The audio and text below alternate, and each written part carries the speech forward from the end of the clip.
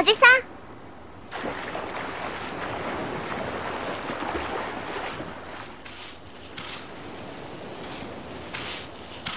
今日の晩飯だ。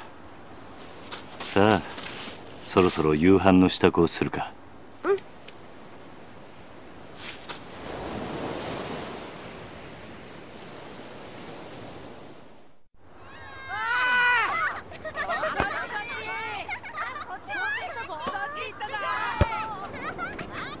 あ夕飯だ。みんな席について。はーい。お腹すいた。おいしそう。うまそう。あ力也兄ちゃんだ。ああ兄ちゃんおいお前たち力也兄ちゃん野球やろうよねえね遊ぼう兄貴。どうしたんだ？何かあったのか？お親父が。親父が？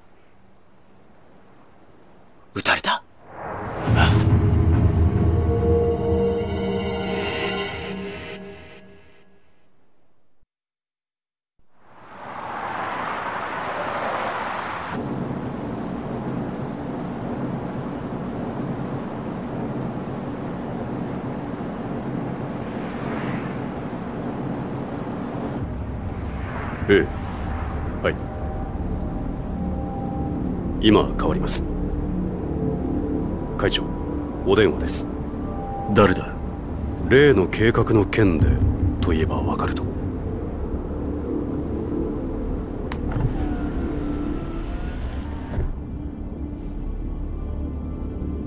堂島です。ええ。だからその件に関しては先日お断りしたはずじゃ。ええそうですこの件登場会は一切手引かせてもらいます。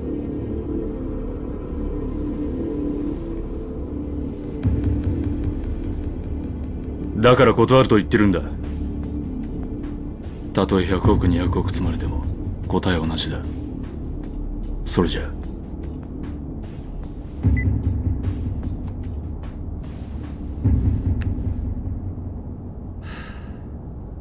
会長。うん。今の電話例の沖縄の一件では。本当に断っていいのでしょうか？どういう意味だ？お言葉ですが今本家は直系白鵬会の上がりでやっていけてる状態です。もしあの沖縄の一件うちが引き受ければこの先10年は食っていけるだけの金が本家になだれ込みます。ざっと見積もって1000億。いやそれ以上の金が。それに今あの男に恩を売っておけば後々政界との強いパイプが。黙れ。そんなことは百も承知だ。だがあの土地は奪えね4代目の剣ですか？登場会は四代目に何度も救われてきた。その人から居場所を奪うことはできねえ。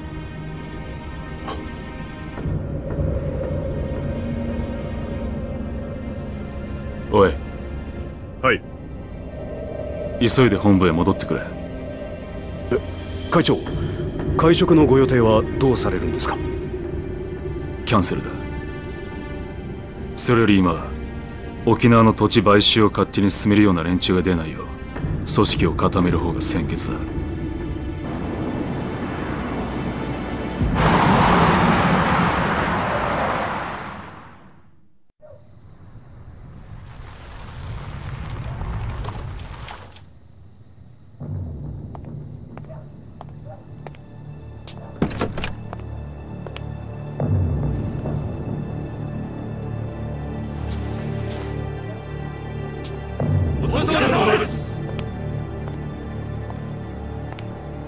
会長。なんだ？実は先ほど会長にお客様が。誰だ？それが。何？本当です。どこからどう見てもご本人としか言いようがありません。どこに？いる今会長室にお通ししてあります。分かった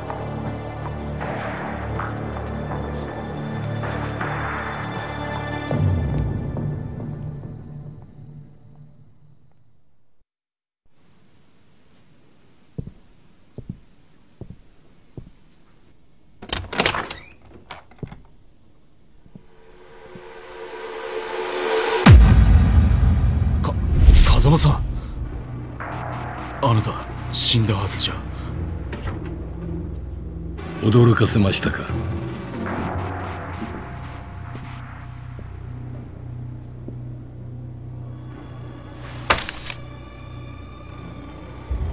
これは？今のあなたにとって大切なものです。これは？沖縄の土地の権利書。だがあの土地には四代目が知ってますよ。あなたにはあの桐生一馬がいる。土地を奪うことはできない。だからあなたに代わって私たちが権利書を取ってきたんです。どうしてそのことを？今我々は東上会に沖縄の土地買収の件から降りてもらうわけにはいかないんです。だがだが俺はあの沖縄の一件もう手を引くと決めたんだ。あなたは東上会の六代目。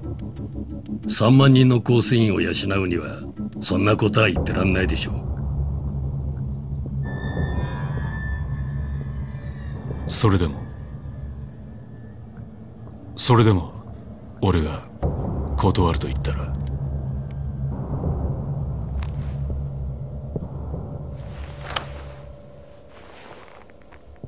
それは困りましたね。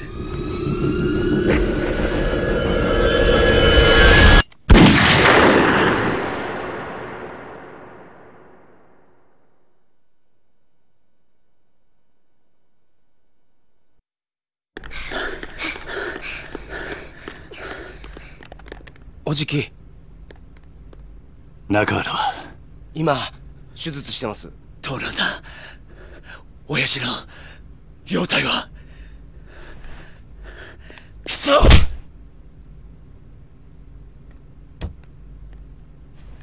さきちゃん怖かったね。サキお前は大丈夫だったのか？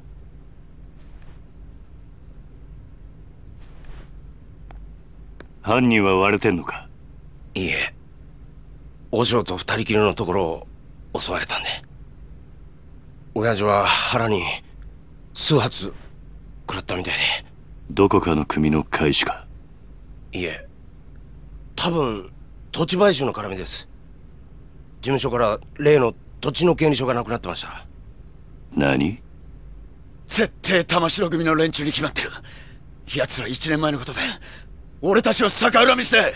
いやそれがどうも違うみたいで。ん？どうしたんだサキ？誰ですか？これは。こいつが撃ったのか？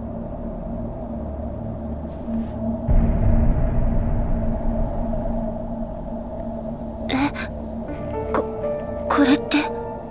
兄貴こいつ兄貴が知ってる人なんですか？ああ。俺の死んだ親父。風間のおやっさんだ。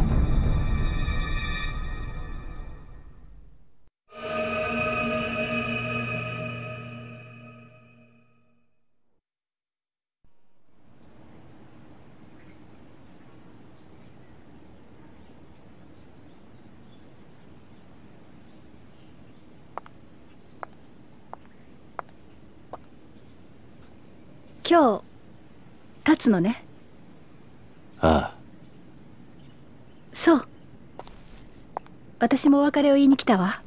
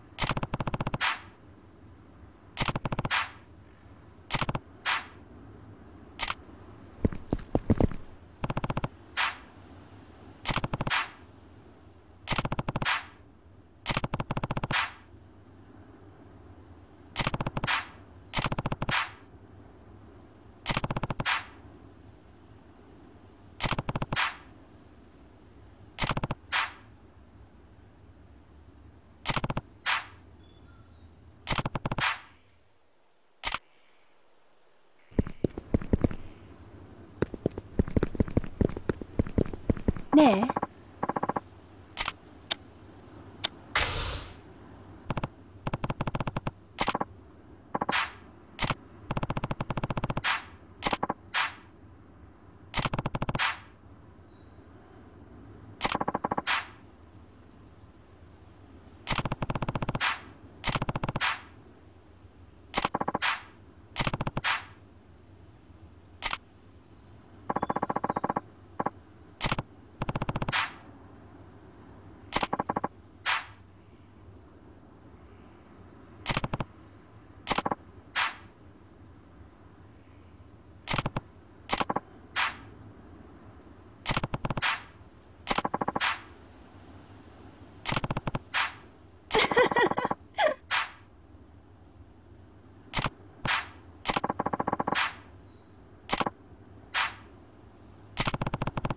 カズマ？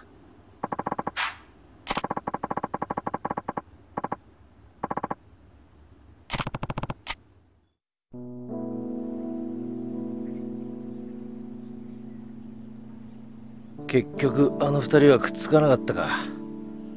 まあ仕方ないでしょう。佐山君には警察官としての夢がありますからね。夢ね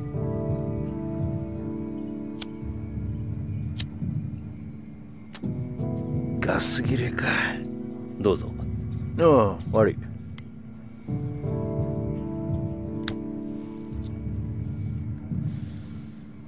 返さないで結構です。差し上げます。あ？一家じゃタバコは吸えませんから。一家だと？私は来月付で4課から一課へ戻ります。極道相手の4課じゃ吸えても殺人事件を扱うエリートコースの一課じゃ吸えませんからね昇進したのか？よかったじゃないか。いやいやそういうわけでもありませんよ。ん？今回の登場会と近江連合の構想。結局警視庁も府警も後手に回り何もすることはできませんでした。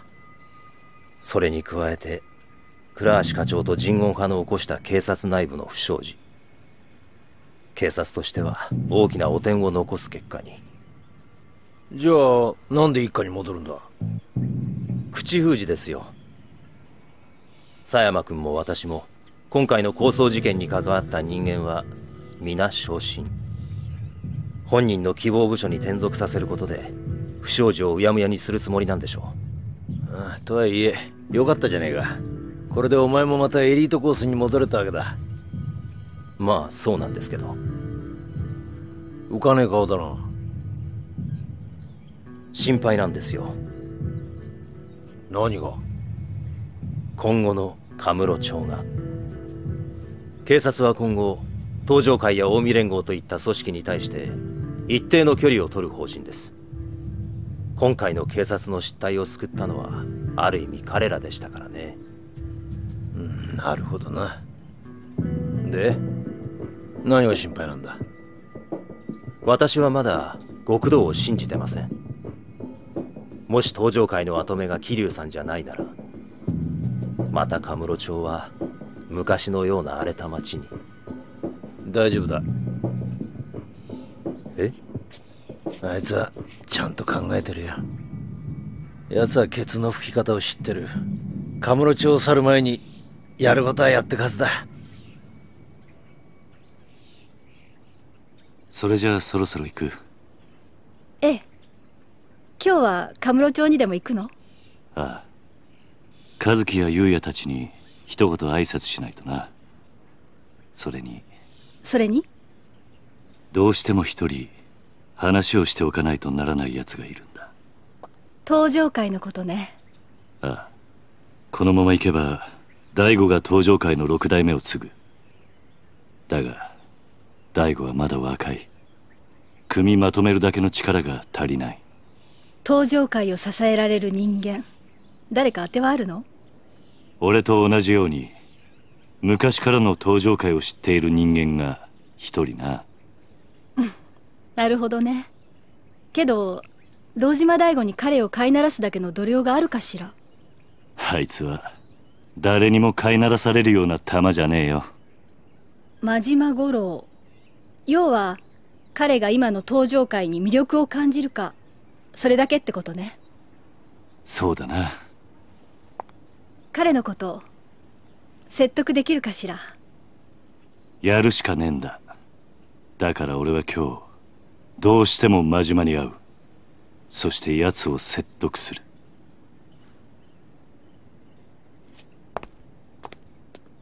殴り合うような展開にならないといいわね。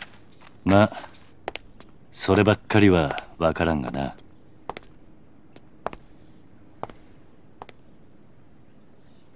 気をつけてね。ああ。お前もな。じゃあ行ってくる。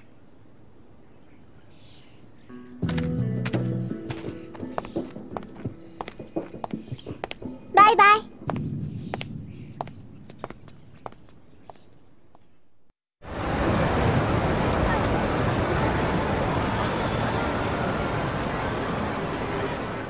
おじさんとカムロ町を歩くのも今日が最後かもしれないんだね。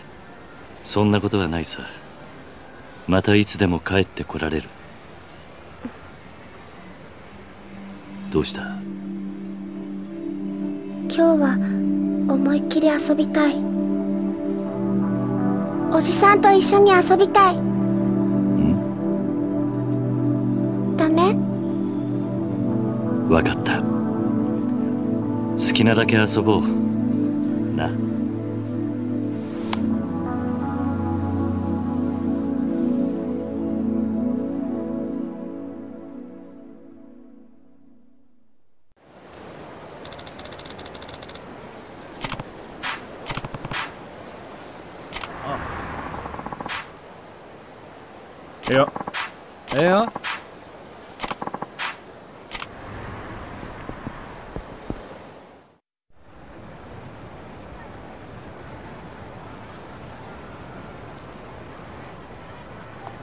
昼間っから何サボってんだゆうや。あ桐生さん。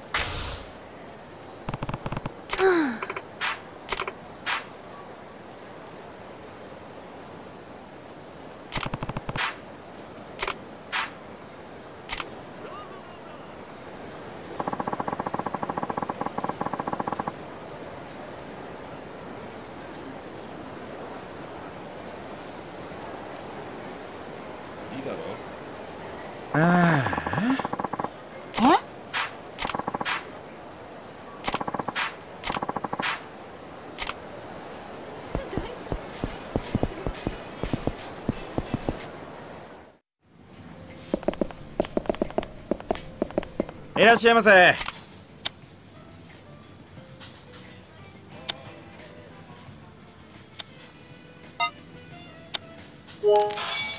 ありがとうございました。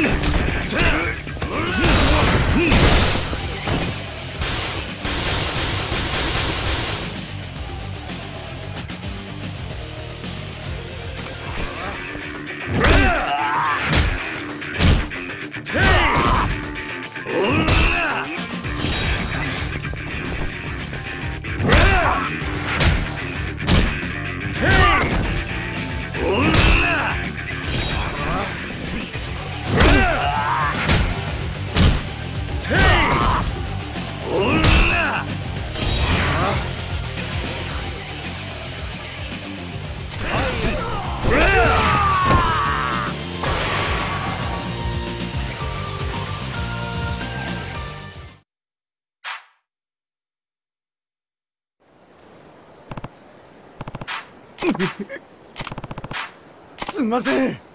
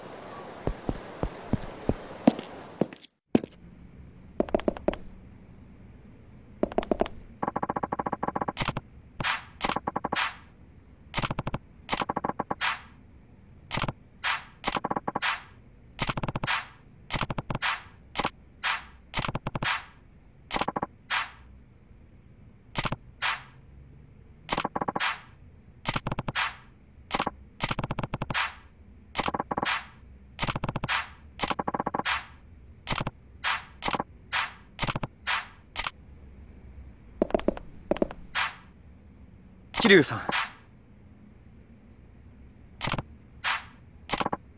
ね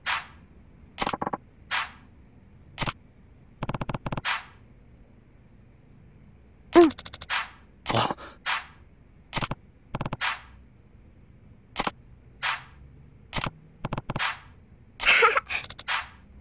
はは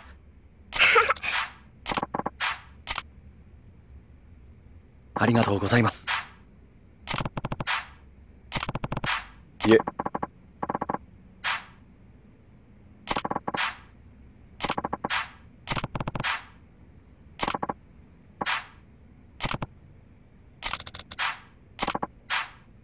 からね。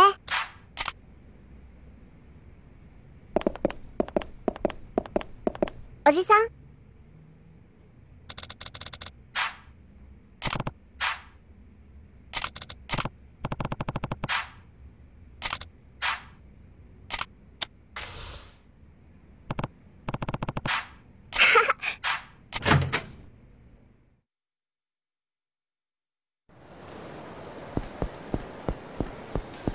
おじさん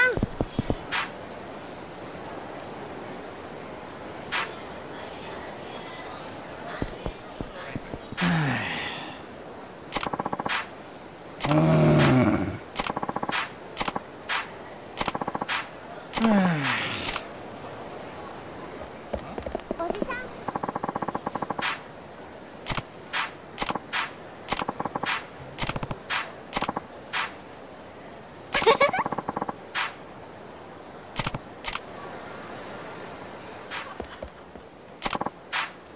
は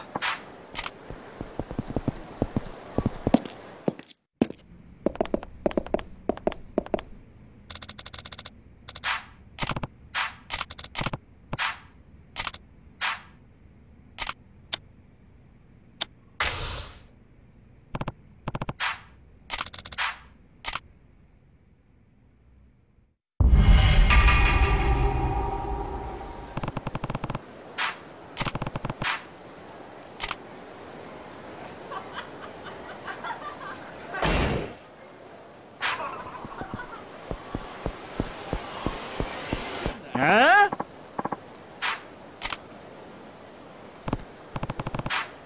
くそお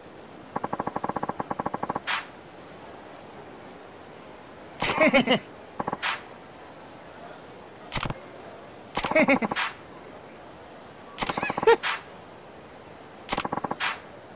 おう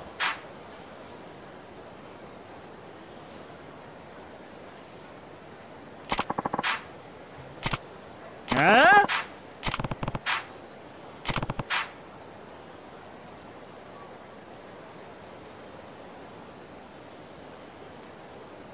何？何？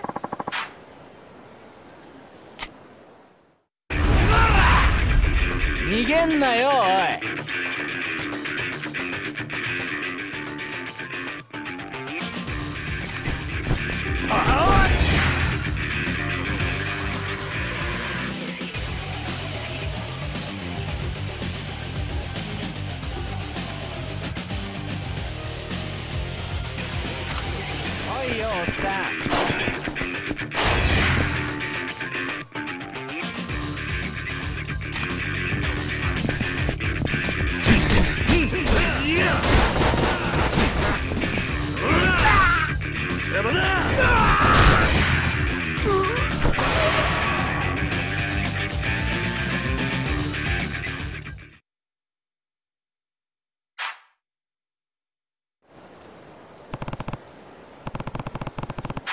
おいやめろおう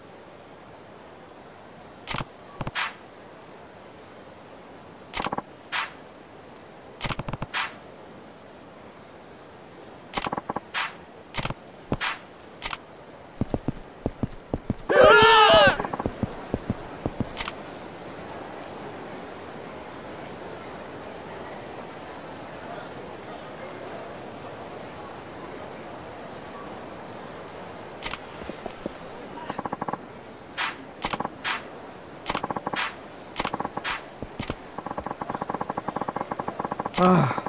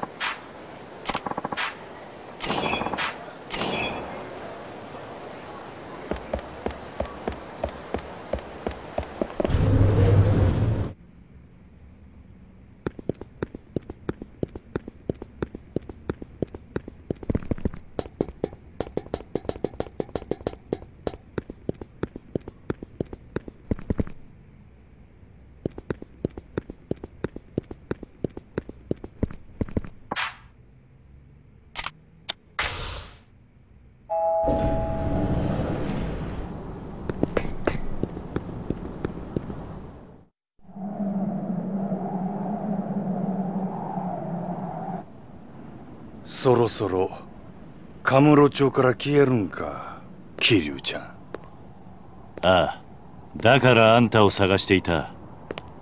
あ？どういうことや？俺はな兄さん。あんたに大悟を支えてほしいと思ってる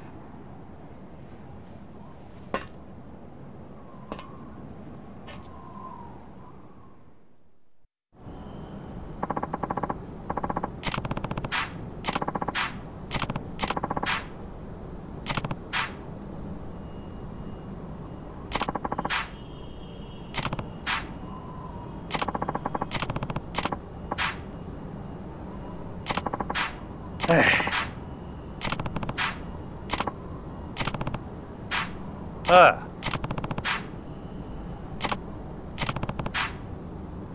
ああ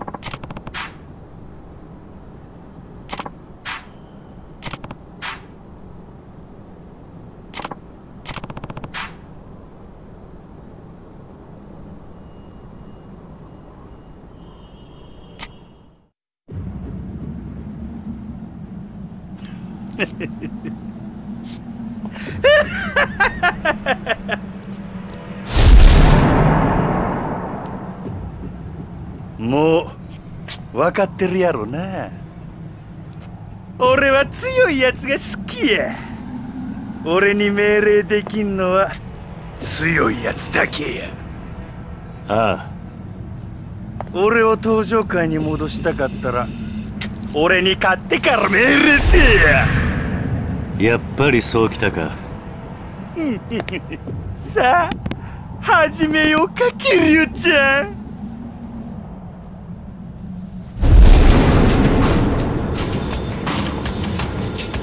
こうやって向かい合うのも久々やな。せやけど手加減はなしやで。ああ。行くで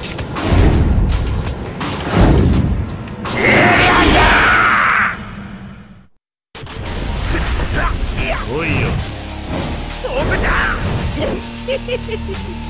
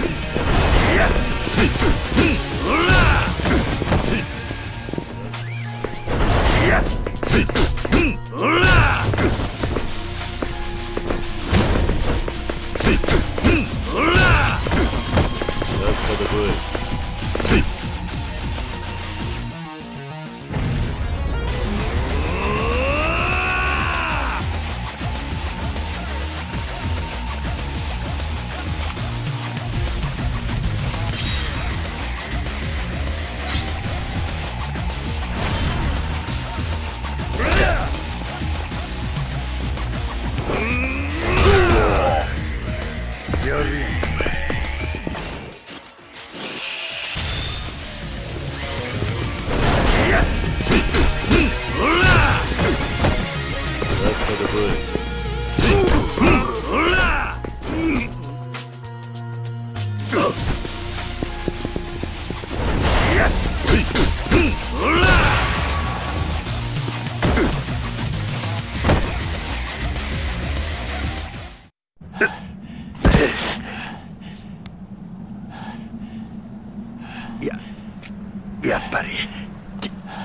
ケレちゃんはごっついの。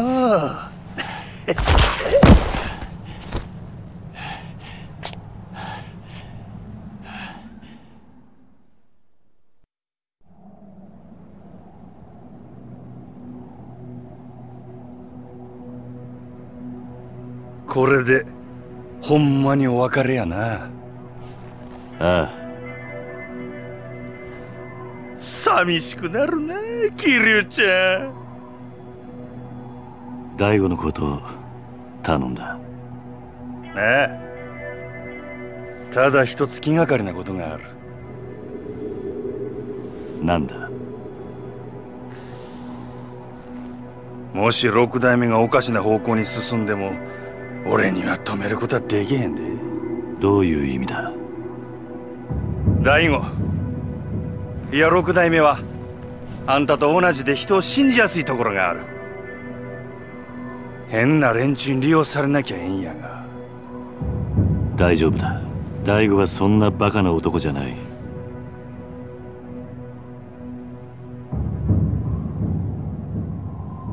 そろそろ俺は行く。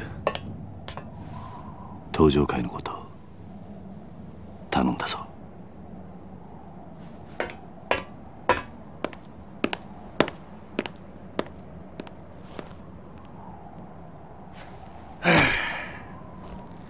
えらいこと引き受けてしもうたな。